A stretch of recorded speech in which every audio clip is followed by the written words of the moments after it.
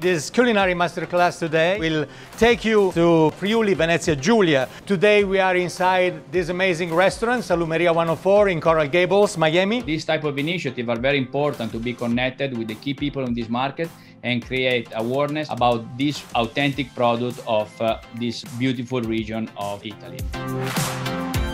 The famous Italian writer Ippolito Nievo stated that Friuli Venezia Giulia is a small compendium of a universe, which is true, because from the Alps to the Dolomites and the Adriatic Sea, Friuli Venezia Giulia is framed by these natural beauties. Let's see together what is inside your boxes. Let's start with the Montasio cheese.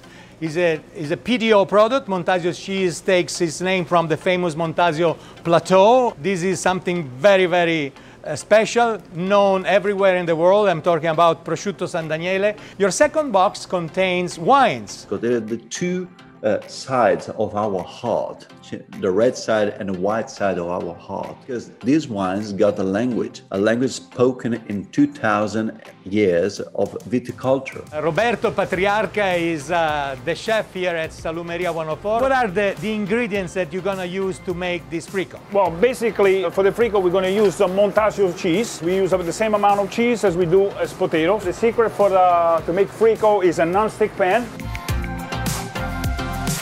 We get one side crispy, and then we just flip it over, That is really amazing. and then we'll just make it crispy on the other side.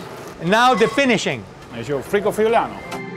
Graziano Sbrogio, tell me about the feedback from the American uh, customer. Our American clientele immediately they recognize it and they love it. They love it because they're going to eat a dish simple, authentic, and very good in a very casual setting. And now is the time of uh, the second recipe, tagliolini. We have obviously the prosciutto San Daniele. We have the fresh tagliolini over here. We have poppy seeds. Okay. We have a little heavy cream, salt and pepper. We're gonna chop it up. We're gonna make this prosciutto San Daniele very crispy, so it releases all its fat. The heavy cream, a little salt. Now we add the tagliolini. A little slice of uh, prosciutto San Daniele on top. So delicious. The tagliolini San Daniele.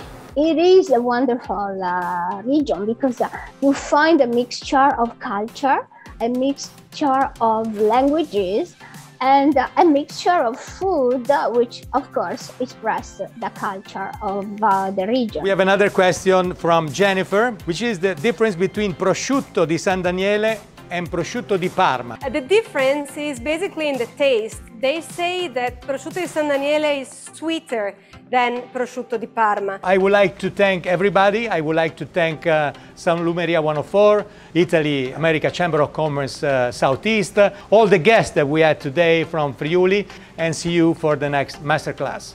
Thank you.